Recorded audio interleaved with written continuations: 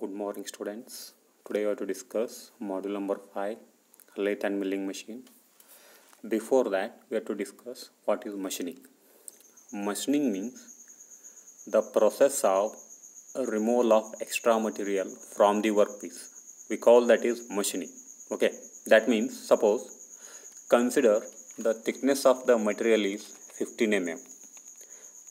I want that material thickness is 13 mm. For that, 2 mm extra material is there.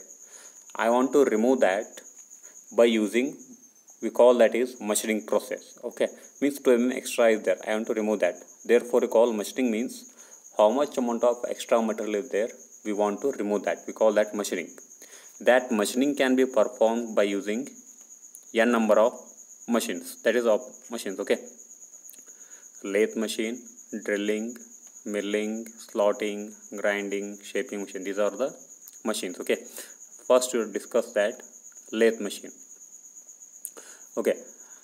First, you have to see the sketch of the lathe machine. Okay. Left side we call that is headstock. Assume this is headstock.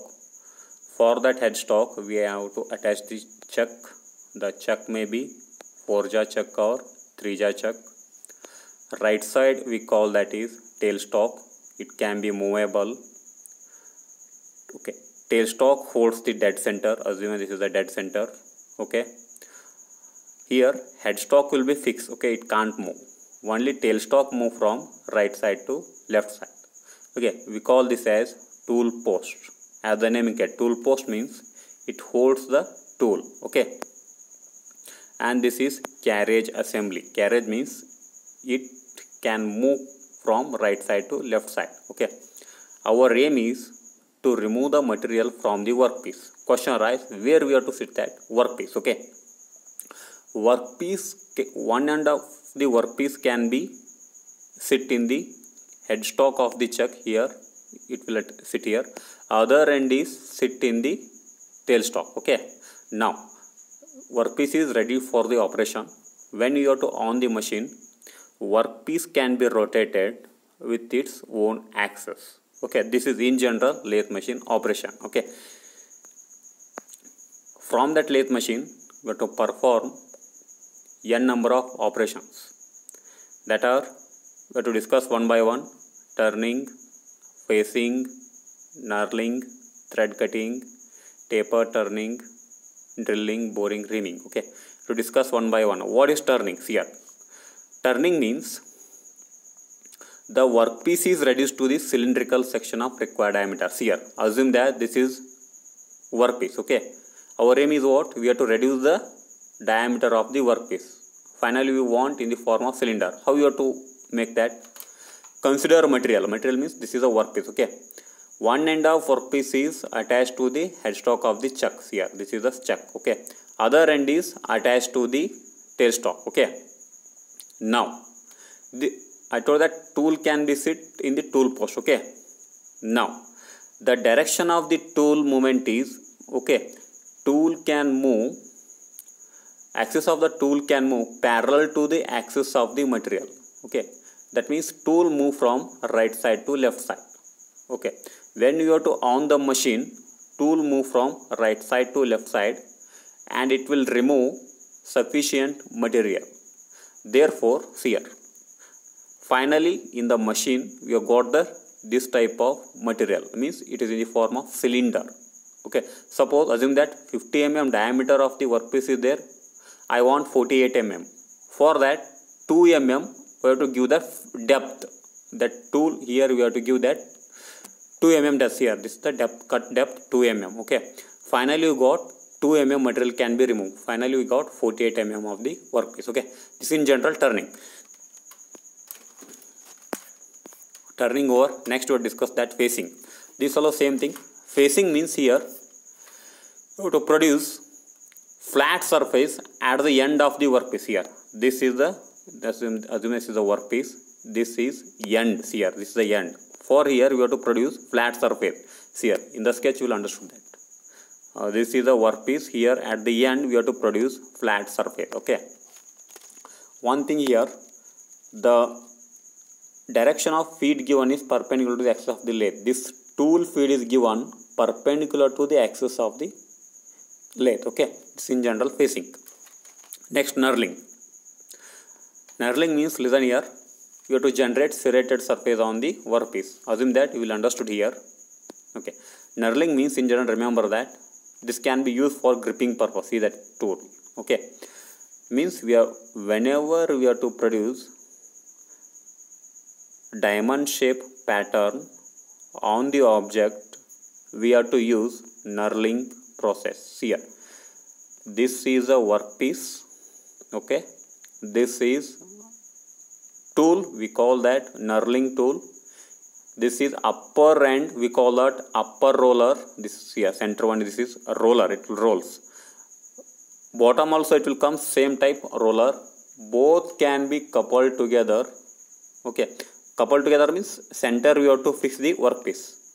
When you have to apply the force from the roller it apply the pressure on the workpiece. Finally that image means whatever you have to pressure there on this roller the shape like god um, like uh, what you say in the form of uh, uh, like serrated okay you should got that required image on the workpiece. Okay this is in general knurling. Application is we have to use for gripping purpose. Okay knurling was same this is thread cutting. As the name indicates thread cutting means thread means whenever we want helical structure on the workpiece at the time we have to use thread cutting operation see here this is a thread cutting on the workpiece. Okay. This is in general thread cutting operation. Taper turning. Before that you have to know that what is taper. You know that. Taper means what? Uniformly increase or a decrease in the diameter of the workpiece. Okay. Means one side diameter is more other side diameter will be less. Okay. Here one formula is there how to find that tapering. That formula is tan alpha equal to d minus d by 2l what is capital d? Capital d means bigger diameter smaller d means smaller diameter okay? Question what is length? Length means how much amount of tapering length of the tapering you want okay? You have to put here. Now from this you have to find the value of angle alpha. By finding angle alpha that you have to adopt in the lathe machine in the tool post. You have to set that angle. Suppose you got 28 degree, degree alpha. Set that angle. You have to maintain 28 degrees here. Alpha means 28 degree. Based on that you have to rotate that tool 28 degree. Now you have to perform the operation. Finally you got the taper turning. Means taper turning means whenever you want conical shape of the object we at that time you have to use taper turning here. This is a conical shape. Okay this is taper turning. Okay drilling. All of you familiar with that drilling? Okay drilling means whenever you want cylindrical hole in a solid body.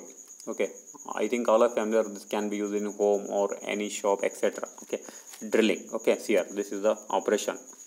This is the drill bit. Okay. Drilling over boring.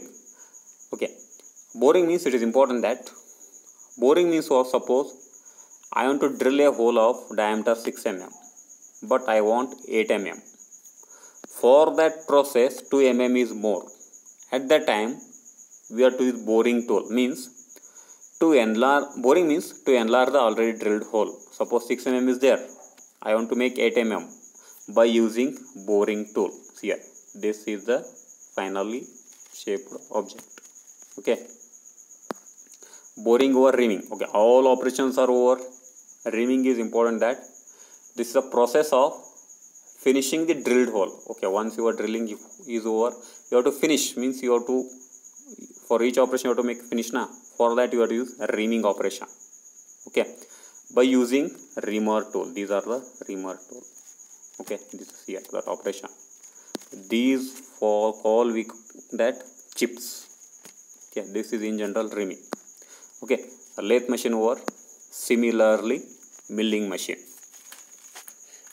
Okay here we have to use in milling machine. Cutter acts as a tool. This is a cutter. It acts as a tool. Okay and this is the here that is the workpiece. These are the workpiece. Here how to remove how to define sorry how to define milling machine means metal removing same. This is also metal removing process. With the help of multi-tooth cutting tool here this is a multi-tooth why you are called multi? Here the tooth this this is one n number of tooths are there. Okay we call that multi-tooth cutter. Okay. Question arise. Okay workpiece is fixed right? workpiece is not moved. Okay. Here in lathe machine what happen workpiece can be rotated. okay. Here workpiece is fixed in the milling machine. Okay workpiece is fixed okay? Now here in milling machine two types of principle are there up milling down milling. As the name up milling here. See the direction of workpiece workpiece direction is workpiece and your feed of the cutter should be in exactly opposite here this is exactly opposite therefore up milling means cutter and feed moves in opposite direction okay call milling down milling means exactly opposite opposite down milling means both your workpiece and cutter rotates in opposite direction we call that down milling this is in general milling machine it also having n number of operations that can be performed on horizontal milling machine this horizontal milling machine here it consists of base bottom we call base and this is a the column okay column is attached to the arbor. We call that is arbor. And it is important part. That is cutter here. This is the cutter. Okay. Cutter rotates with respect to arbor axis. Okay. And here important part is vertical transverse handle. Here there is a handle. Handle means below of the handle this is the jack portion is there. Means your that table throughout setup position this is the table it can move up and down by operating the vertical transverse handle okay or cross transverse handle. Machine vise this is a machine vise black is a workpiece. Machine vise can hold the workpiece okay. Now in general horizontal milling machine. From this n number of operations can be performed that means plane and slot milling angular form straddle gang milling that can be discussed one by one. Okay what is plane milling? Plane milling means here this is the cutter this is the arbor this is the workpiece bottom this is work means workpiece okay whenever you want to produce flat surface or horizontal surface on the workpiece at that time you have to use plane milling. Okay this is the process. Okay. Now similarly end milling here before that check that what about the axis. This is the end mill cutter red color is the end mill cutter black color is the, this is the workpiece here. The end cutter axis and workpiece axis are exactly perpendicular to each other okay? From this operation you have to produce whenever you want slots or pockets and keyways. At that time you have to use end mills here. This operation this is the keyway okay this is the end mill cutter. Okay this is the end mill cutter. Slot milling. As the name indicates slot milling means whenever you want to slots maybe T slots or plain slots etc at that time you have to use slot milling operation. Okay here. This is the final slot on the workpiece. And this is slot milling. Similarly angular milling form straddle gang milling this can be studied one by one below. Sketch is there. Angular milling see the cutter shape angular see the it is in the form of v shape. Therefore how to define angular milling means whenever you want v shape v shape structure or v notch on the workpiece at that time we have to use angular milling. Similarly form milling see that shape of the cutter that form milling cutter. It is in the form of convex or concave.